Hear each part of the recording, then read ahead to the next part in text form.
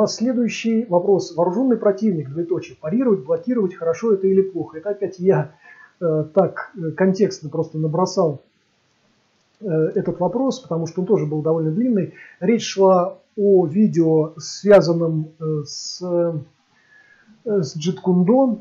Э, это у нас видео было посвящено э, очередной, ну, вот этой вот теме, связанной с противодействием вооруженному противнику, вооруженному там перочинным ножиком, там каким-то недлинным, да, вот. И видео относилось к джеткундо. Одно из решений людей, которые вот этим направлением занимаются, да. Э, и там, кто видел это видео, я надеюсь, вы его видели, там в принципе любое действие второго номера, да, который защищается и атакует в дальнейшем, да, не вооруженного, я имею в виду, да, первый номер у нас вооруженный, второй номер не вооруженный действия второго номера у нас всегда начинались с некоего парирования. Почему я назвал это парированием, а не защитой буквально? Да? Э, во-первых, потому что,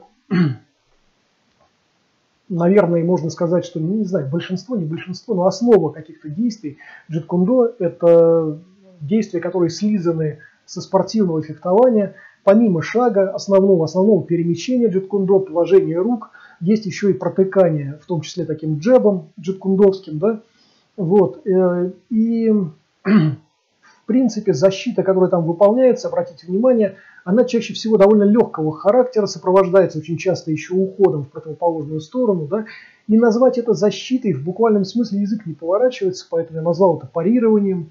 Это таким образом я объясняю, почему вот такой эпитет я к этому при, применил, да.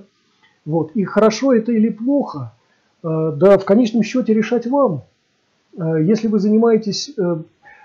Э, давайте еще раз, вот мы обсудим просто вопрос защиты, кратенько совсем, да. Значит, защита, ребят, это, во-первых, она, конечно, выполняет саму функцию, которая обозначена этим названием. Она вас защищает буквально, да. Ваши защитные техники или элементы защиты, они в первую очередь защищают вас. Это понятно совершенно. Но в боевых искусствах, в боевых практиках защита э, одновременно с основным своим функционалом да, решает еще ряд вопросов. Какие это вопросы? Э, это вопрос, например, сближения с противником. Если в спорте мы чаще всего видим, что на защите люди уходят, убегают, прячутся, да, ждут, когда э, интенсивность атак спадет и можно будет что-то с этим делать, что само по себе с боевой точки зрения является ошибочным поведением. Но в спорте это нормально, в спорте это годится, потому что там правила другие, подходы другие там, и так далее. Вам надо продержаться всего три минутки, например, там, ну и прочее, фиг ним. Вот. Э, в боевой практике это не годится, и чаще всего на своей защите в боевых искусствах, еще раз, в боевых, ребят, не в единоборствах, э, дистанцию либо сокращают, либо используют ее для того, чтобы по скользящей в сторону уйти, либо для того, чтобы получить там центростремительное какое-то вращение и по нему направить, например, противника. Слушайте, я не буду сейчас философствовать на эту тему, теоретизировать, да.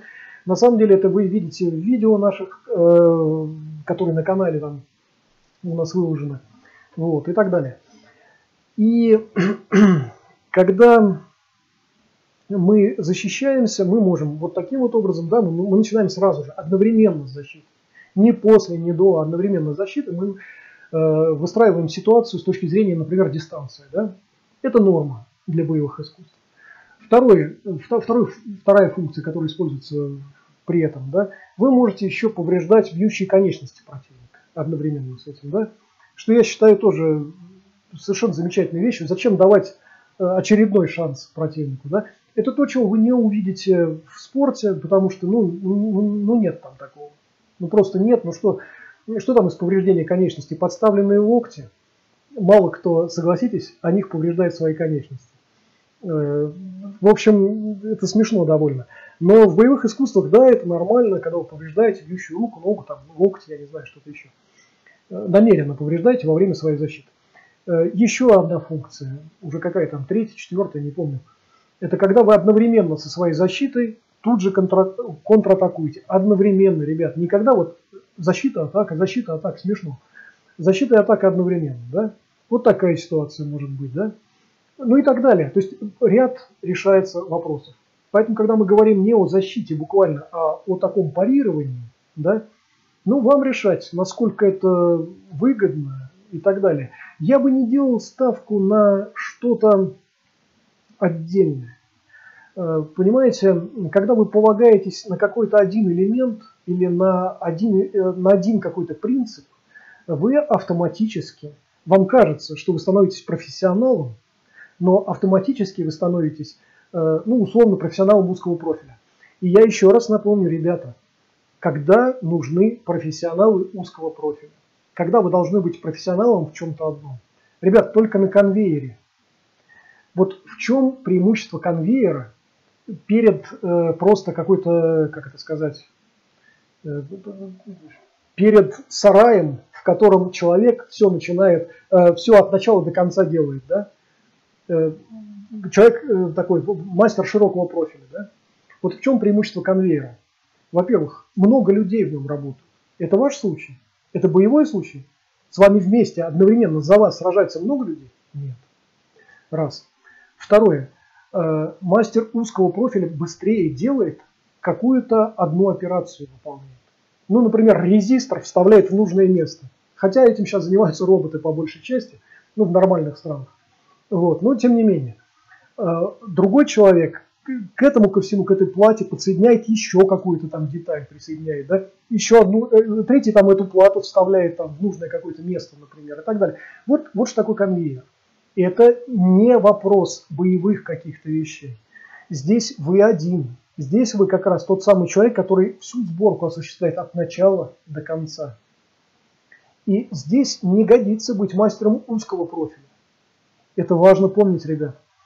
Вот. Поэтому, когда вы полагаетесь на какой-то один принцип, на какую-то одну особенность, на какой-то один элемент, на три удара, два пинка, ну, ну что, ну вам надо тогда работать на конвейере.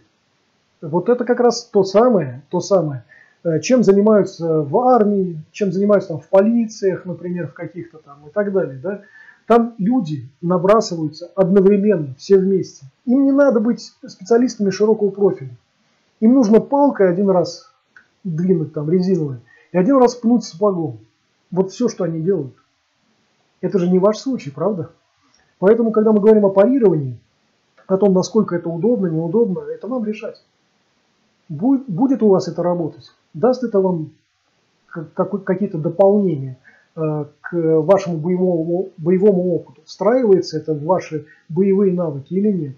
На самом деле, такого рода парирование, которое мы видим в джиткундо, ребят, ну, наверное, процентов 5 можно обозначить, что такого рода действия, например, условно характерны для хоутюань. Для других направлений боевых вряд ли. Для того, чтобы использовать такого рода парирование, наверное, вы должны заниматься джиткундо. Я так предполагаю. Скорее всего, это все. Ну или какой-то самооборонкой, которая тоже использует подобные вещи, например. Так. Э, давайте посмотрим. Значит, про спорт пишет. Кстати, недельная поездка в Китай стоит ни много ни мало 1200 евро на одного человека. А чтобы еще принять участие в семинарах или попасть в мастерам, проще за такие деньги свою школу открыть. Да, я совершенно согласен, абсолютно.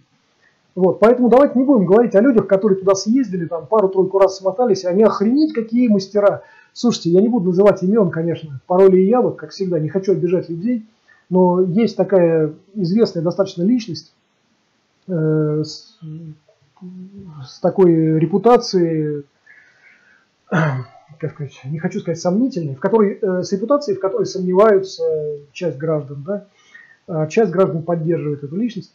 Ну вот, этот человек тоже проездил туда в Китае, тоже как бы занимался там какими-то боевыми вещами, у него есть масса видео там, связанных с этим. Но вот обратите внимание на то, как он общается, например, с условно учителем, который проводит эти тренировки для него. Если вы посмотрите, ну понятно, что этот господин не знает двух слов даже по-китайски. Он даже не может сказать да и нет, судя по всему, или я понял, он не может сказать. Как, как он пытается понять?